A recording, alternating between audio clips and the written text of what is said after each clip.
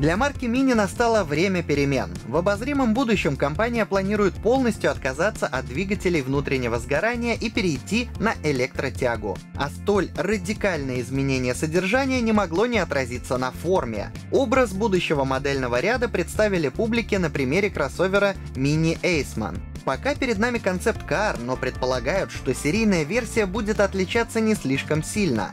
Разумеется, преемственность прослеживается с первого взгляда. Сразу понятно, что это именно мини. Но и отличия очевидны.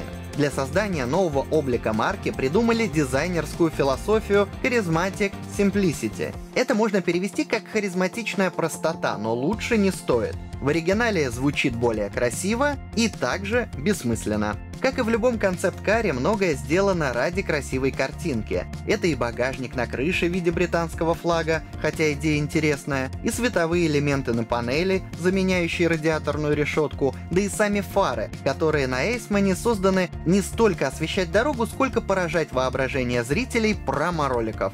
Интересно, что в интерьере по идеологическим соображениям не используют естественные материалы. Вместо кожи применяют инновационные разновидности текстиля. Посмотрим, хватит ли у Мини принципиальности поступить также с серийной версией.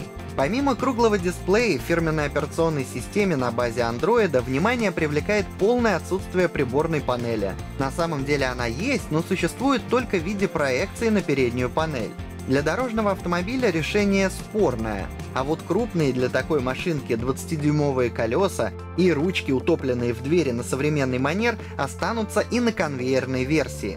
Кстати, о габаритах. Длина машины 4 метра, а раз так, то серийный Эйсман будет не заменой, а младшим братом для мини-кантримена который тоже ждет смены поколений и тоже может превратиться в чистый электрокар, во всяком случае на европейском рынке. А еще новинка может заменить в модельном ряду хэтчбэк Clubman, у которого наследника пока не предвидится. К сожалению, о технической начинке концепта пока не сообщают ровным счетом ничего. Уверенно можно быть лишь в том, что ставка сделана на электрическую силовую установку. Вообще для Мини радикальная смена имиджа не впервой.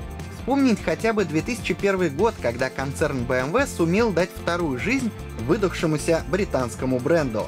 На фоне тех событий нынешние перемены не столько радикальны, но наверняка тоже пойдут марке на пользу.